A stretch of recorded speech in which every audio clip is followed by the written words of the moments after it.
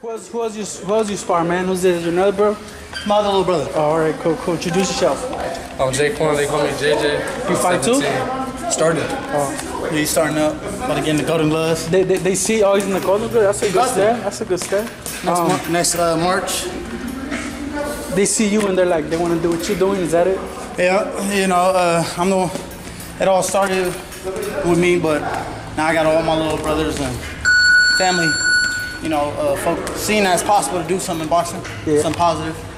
Who, who else you spar, man? Like other other names and stuff like.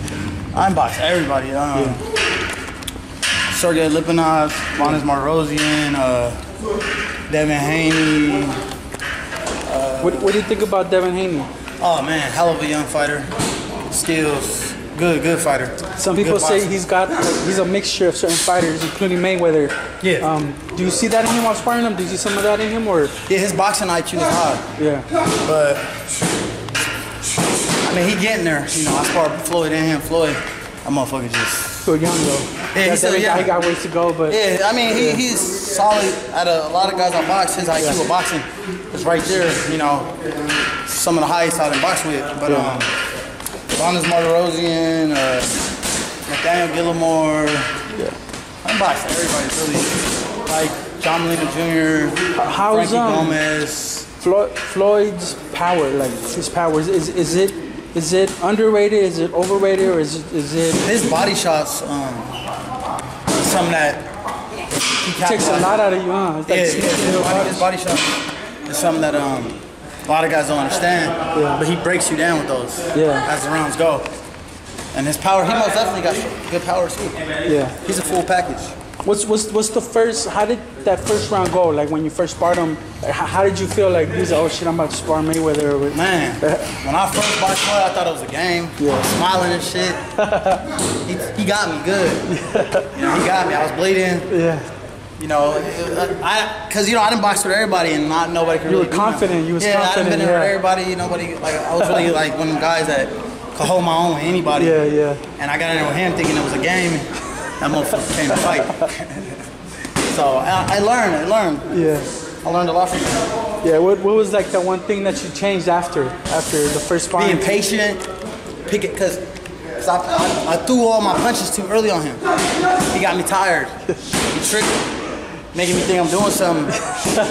like putting himself in position to hit. Yeah. And I was throwing a 100 punches. Yeah. And then, and then as soon as I got tired, he said, "Oh, that fatigue kicking in." Yeah. Boom! Hit me in the stomach, walking me down, and that was just a survival, Survival mode, yeah. mode. You know, trying to not get knocked out. Yeah.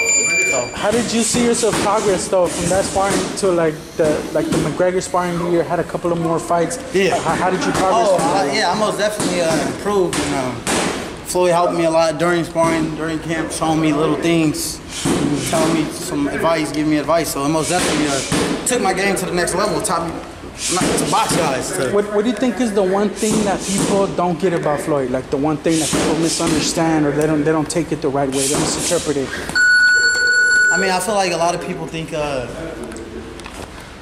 you know, a lot, of, a lot of people are really, a lot of people jealous of him. You know, they don't understand that, man, what he did and what he's continued to do, mm-hmm. that work ethic with all that money. Like, you know, we in sparring, we get paid. Motherfuckers start thinking, you know, you got like, you ain't got nothing but some bands in the account. Yeah. He got hundreds of millions. Yeah. We in New York, three in the morning, we going to run. Yeah. Yeah. I'm like, damn, this motherfucker ain't playing like against McGregor. So it show you like he's where he at because of his focus and his hard work, Yeah. and he deserved everything he got. Yeah.